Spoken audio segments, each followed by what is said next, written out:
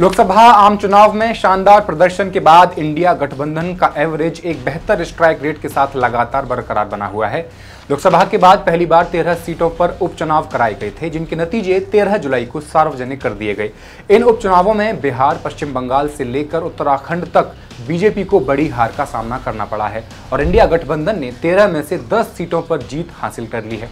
तो वहीं बीजेपी के खाते में महज दो ही सीट आ सकी हैं।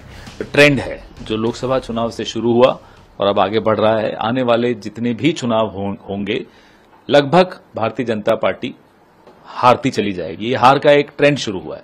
चौदह में हमारे लिए शुरू हुआ था हमने देखा उसके बाद हम कई चुनाव हारे। अब वही हाल उससे भी बुरा हाल भारतीय जनता पार्टी का होने वाला है। अयोध्या की हार के जख्म अभी भर ही नहीं पा रहे थे या कहें कि अखिलेश यादव ने ठान रखा था कि जख्म हरा ही रखा जाए। लोकतंत्र रक्षक सेनानी आइए। लोकतंत्र रक्षक सेनानी ये खड़े हमारे साथ। अवधेश जी राजा अयोध्या। अयोध्या का दुख अभी भरा भी नहीं था कि एक और बड़ा जख्म भाजपा के लिए बद्रीनाथ ने दे दिया है। बद्रीनाथ सीट पर हुए उपचुनाव में भी भाजपा हार गई है। जो दर्शक अयोध्या और बद्रीनाथ में संबंध स्थापित नहीं कर पा रहे और भाजपा के डाउनफॉल को समझ नहीं पा रहे हैं, वो थोड़ा इंतज़ार करें। फैक्ट्स एंड फिगर्स में सारे डाउट्स को क्लियर किया जाता है। बस शर्त यह है कि एपिसोड के अंत तक बने रहना है आपको। इस एपिसोड में उपचुनाव के साथ साथ बात होगी। राज्यसभा में भी कम हो रही भाजपा की सीट्स, जिससे अब विधेयक पारित करने में भाजपा को मुश्किल का सामना करना पड़ेगा। ऐसे में one nation, one election, uniform civil code जैसे विधेयक कैसे पास होंगे? भारतीय जनता पार्टी के कार्यकर्ता को किसी भी स्थिति में बैकफुट पर आने की आवश्यकता नहीं है। किसी भी स्थिति में नहीं है। क्योंकि आपने कार्य किया है। आप विपक्ष में थे, जनता के मुद्दों को लेकर लड़ते थे। आज जब सरकार में थे तो याद करिए, उत्तर प्रदेश के अंदर सुरक्षा का ये वातावरण आपको आज देखने को मिल रहा होगा। याद करिए, इसी मुहर्रम के समय में सड़कें खाली हो जाती थी, सोनी हो जाती थी। आज मुहर्रम आयोजित हो रहा है, इसका पता भी नहीं लग रहा है। यूपी के लोकसभा चुनाव में खराब प्रदर्शन के बाद 10 सीटों पर होने वाले उपचुनावों में योगी आदित्यनाथ के पॉलिटिकल करियर पर क्या विराम लग जाएगा? बहनों और भाइयों हम 2010 के 10 उपचुनावों के लिए तो हमें अभी से तैयारी करनी ही है। ये चुनाव कहाँ कहाँ होगा और बिहार के चार सीटों पर उपचुनाव कहाँ कहाँ होने हैं इन सब पे भी बात करेंगे।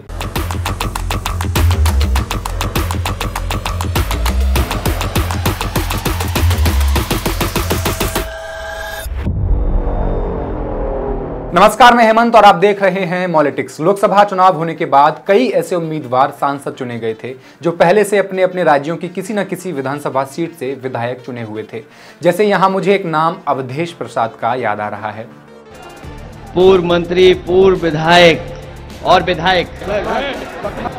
पूर्व विधायक इसलिए बोल रहा हूँ, सांसद बनने वाले हो। होता यह है कि ऐसे विधायक जो एमपी यानी सांसद का चुनाव लड़ते हैं और जीत जाते हैं तो उन्हें किसी एक का कार्यभार का निर्धारण करना होता है। एक बार में वे या तो सांसद बने रह सकते हैं या फिर विधायक। अब ऐसे विधायक जो सांसद बने रहने का चुनाव करते हैं, उन्हें अपनी विधानसभा सीट का त्याग करना पड़ता है, जिससे वो सीट खाली हो जाती है। सीट खाली होने का दूसरा कारण हो सकता है किसी विधायक का निधन हो जाए। ऐसी स्थिति में फिर से चुनाव कराए जाते हैं, जिन्हें उपचुनाव कहा जाता है। तीसरा कारण यह भी हो सकता है कि किसी पर जघन्य अपराध सिद्ध हो गया हो। तो ऐसी ही सीटों पर 10 जुलाई को कुल सात राज्यों की तेरह सीटों पर वोटिंग हुई। इसमें सबसे ज़्यादा चार सीटें पश्चिम बंगाल की रहीं, वहीं हिमाचल प्रदेश की तीन अभी एक महीना पहले, जब लोकसभा के चुनाव हुए तो तीनों विधानसभा क्षेत्रों में भारतीय जनता पार्टी के लोकसभा के प्रत्याशी पंद्रह पंद्रह हज़ार वोटों की लीड से जीते। अचानक एकदम तीनों निर्दलीय प्रत्याशी के चुनाव हुए। भारतीय जनता पार्टी ने तुरंत प्रभाव से तीनों चुनाव घोषित करवाए।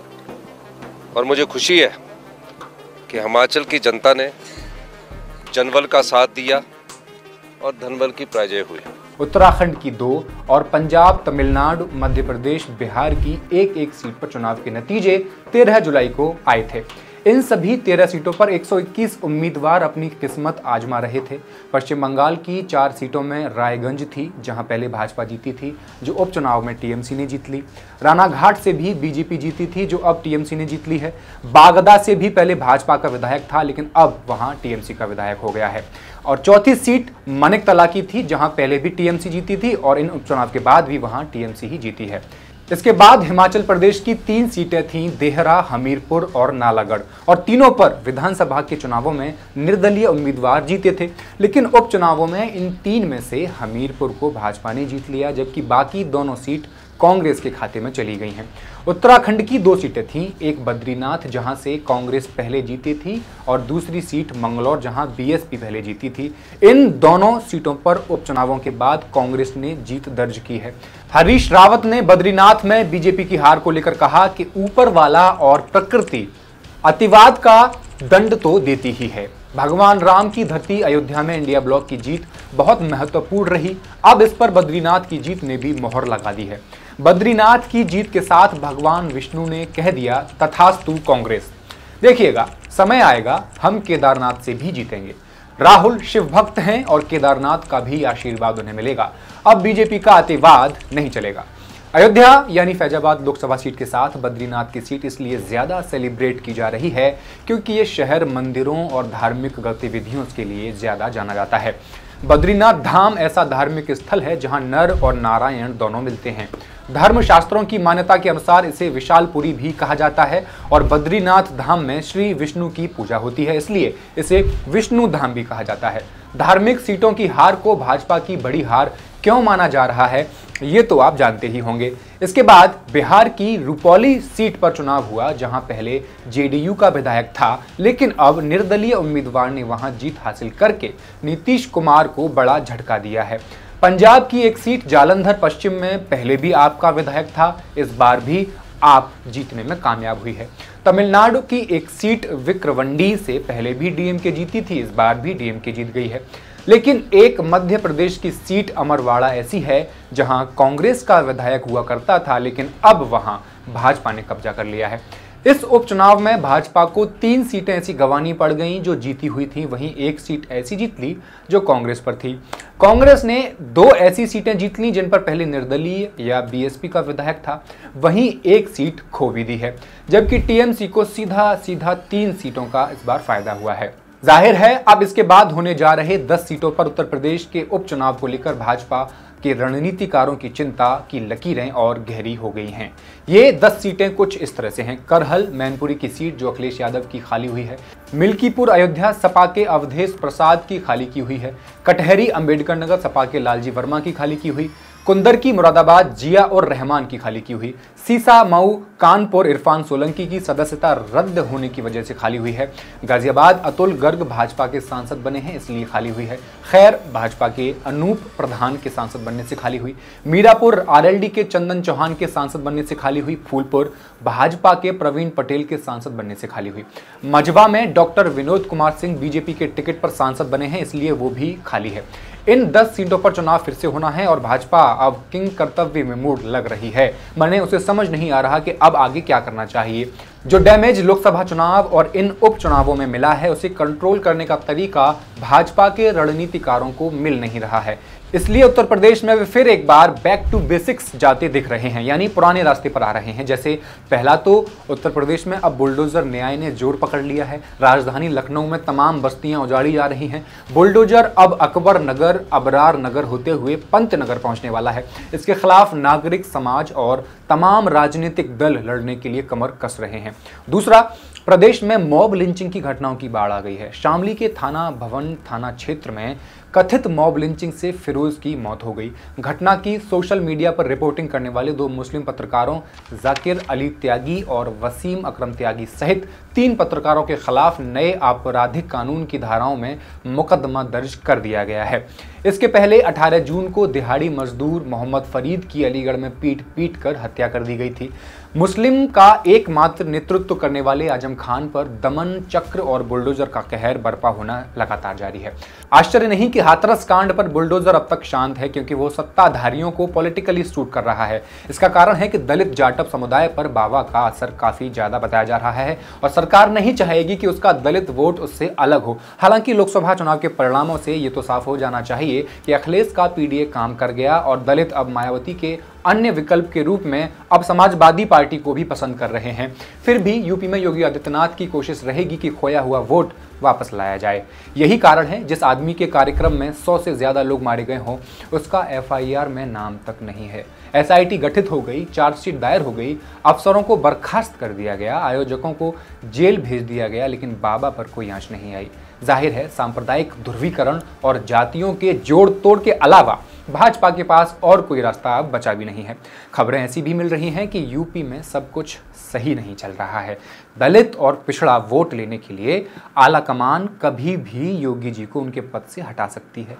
भाजपा के अंदर और एनडीए के अंदर ऐसे संकेत हैं कि सब कुछ ठीक नहीं है। खुद पार्टी के विधायक अगले चुनाव में हार की भविष्यवाणी कर रहे हैं। तो दूसरे प्रभावशाली विधायक अपनी सरकार में किए गए भ्रष्टाचार पर मुखर हो रहे हैं। उत्तर प्रदेश की अप्रत्याशित, लेकिन भीषण पराजय के बाद पार्टी के भीतर गुटी लड़ाइयाँ तेज हुई हैं। विधायकों ने गुटों में रहना शुरू कर दिया है। ये तो साफ़ ही है कि ब्रांड मोदी और ब्रांड योगी दोनों की पराजय हुई है, क्योंकि अब तक जो मोदी, योगी का नाम साथ लेकर डबल इंजन की सरकार के कारनामे गिनवाते फिरते थे, वही लोग मोदी, योगी का नाम साथ में लेने भर से कतरा रहे हैं और भाजपा के सहायक दल भी अब भाजपा की भाषा नहीं बोलते दिख रहे। ओम प्रकाश, राजभर और निषाद पार्टी के विधायक हाल ही में नीट लीक पेपर मामले में गिरफ़्तार भी किए गए हैं। किसी विभाग में नौकरी चाहिए। किसी विभाग में आपके भाई को, आपके परिवार, बच्चे को, आपकी बच्ची को नौकरी चाहिए। तब फार्म भरने के बाद प्रभु का कहते, क्या आता है वो कॉल लेटर एडमिट कार्ड या कॉल लेटर जो भी कहते हो भाई। कॉल लेटर जब कॉल लेटर आ जाए तो कॉल कर लेना। निश्चित है, जुगाड़ तो बना ही देंगे। देखने में ऐसे लग रहे हैं। इनके कम से कम कई लाख चेला लोग नौकरी कर रहे हैं। और सबको नौकरी इन्होंने दिया। है तो आप लोग भी मेहनत कर रहे हो तो आप बताओ, आपको भी नौकरी चाहिए कि नहीं चाहिए? तो पढ़ाई लिखाई अपने बच्चों को चाप के कराइए नौकरी देने वाले और दिलाने वाले अब हम पकड़ना शुरू किए हैं। तो बेदी राम जी माहिर है नौकरी दिलाने में। अब लेने के लिए आप तैयारी करो, कोई दिक्कत नहीं है। नौकरी भी। अनुप्रिया पटेल आरक्षण आदि के सवाल पर योगी सरकार को कटघरे में खड़ा कर रही हैं। आने वाले दिनों में यूपी के उपचुनावों में जितनी उम्मीद की जा रही है, उतनी सफलता नहीं मिली तो ये गुट बनाकर लड़ने वाली लड़ाइयाँ और तेज होने के आसार दिख रहे हैं। और एक बार दलित पिछड़ों ने अगर जाति जनगणना जैसे सवालों के स्वरों को तेज किया तो उत्तर प्रदेश में राजनीतिक, सामाजिक ध्रुवीकरण और तेज होता जाएगा, जो एनडीए में टूट का कारण बनेगा। जहाँ तक कांग्रेस की बात है, उसने जगजीवन राम के जन्मदिन के बहाने दलित बस्तियों में सहभोज आदि के आयोजन शुरू कर दिए हैं। उसकी भी निगाह दलित वोट बैंक पर है, क्योंकि आज उसके पास कोई ठोस सामाजिक जनाधार यूपी में है नहीं। राहुल गांधी पीड़ितों से मिलने हाथरस और अलीगढ़ गए। प्रशासन की विफलता को उन्होंने कोसा, हालाँकि बाबा के खिलाफ कोई बयान देने से वे भी बचते हुए नज़र आए। सपा, ऐसा लगता है कि लोकसभा चुनाव के सफल फॉर्मूले को ही फिर से आजमाना चाहती है। पीडीए के माध्यम से दलित पिछड़ों, अल्पसंख्यकों को एकजुट करने का उसका ज़ोर है। कांग्रेस और सपा का साथ रहना मुस्लिम, दलित, अति पिछड़े वोटों को आकर्षित करने की अनिवार्य शर्त बन गया है। इसलिए ये गठबंधन विपक्ष के लिए आज एक स्वाभाविक ज़रूरत मालूम पड़ता है। उत्तर प्रदेश के बाद बिहार की चार और सीटों पर उपचुनाव करवाया जाना बाकी है। पहली है भोजपुर ज़िले के तरारी विधानसभा सीट से सीपीआईएमएल के विधायक रहे सुदामा प्रसाद। अब आरा लोकसभा सीट से सांसद बन चुके हैं। दूसरी, कैमूर ज़िले के रामगढ़ विधानसभा सीट से आरजेडी के विधायक रहे सुधाकर सिंह। अब बक्सर लोकसभा सीट से सांसद बन चुके हैं। गया ज़िले के बेलागंज विधानसभा सीट से आरजेडी के विधायक रहे सुरेंद्र यादव अब जहानाबाद लोकसभा सीट से सांसद बन चुके हैं। गया ज़िले के इमामगंज विधानसभा सीट से हिंदुस्तानी आवामी मोर्चा के विधायक रहे जीताराम मांझी अब गया के सांसद बन गए। इस बात में कोई संदेह नहीं कि भाजपा के लिए आने वाले उपचुनावों में मुश्किलें ज़्यादा होंगी, लेकिन नई परेशानी एक ये भी है, भाजपा के सामने जो आ रही है, क्योंकि राज्यसभा में बीजेपी के चार मनोनीत सदस्य 13 जुलाई को रिटायर हो चुके हैं। ये चार राकेश सिन्हा, राम शकल, सोनल मान सिंह और महेश जेठमलानी हैं। इसके बाद राज्यसभा में पार्टी की ताकत छियासी रह गई है। वहीं बात करें एनडीए की तो ये 101 हो जाती है, जबकि मेजोरिटी के लिए ये संख्या होनी चाहिए 114 और विपक्ष के नेता का पद बरकरार रखने के लिए ज़रूरी संख्या होनी चाहिए 25 कांग्रेस के सांसद राज्यसभा में कुल 26 हैं। राज्यसभा में मौजूदा सदस्यों की संख्या 226 है, जबकि 19 सीटें खाली पड़ी हैं। आने वाले महीनों में राज्यसभा की 11 सीटों पर चुनाव होने से संभवतः एनडीए को 8 सीटें और इंडिया ब्लॉक को तीन सीटें मिलने की संभावना है। इनमें तेलंगाना से कांग्रेस को मिलने वाली एक सीट भी शामिल है। इससे कांग्रेस की सीटें की संख्या सत्ताईस हो जाएगी, जो राज्यसभा में विपक्ष के नेता का पद बरकरार रखने के लिए आवश्यक सीटों से दो अधिक है। वर्तमान में इंडिया ब्लॉक के सभी सदस्यों की संख्या सतासी है। वहीं ऐसे सांसद जो न तो इंडिया गठबंधन का हिस्सा हैं और न ही एनडीए का हिस्सा हैं, उनकी संख्या उनतीस है। बहरहाल जाते जाते एक सवाल आपके लिए छोड़ जा रहा हूँ। क्या यूपी में डैमेज कंट्रोल के नाम पर गुटी लड़ाई में योगी को किनारे लगाने में शाह और मोदी सफल होंगे?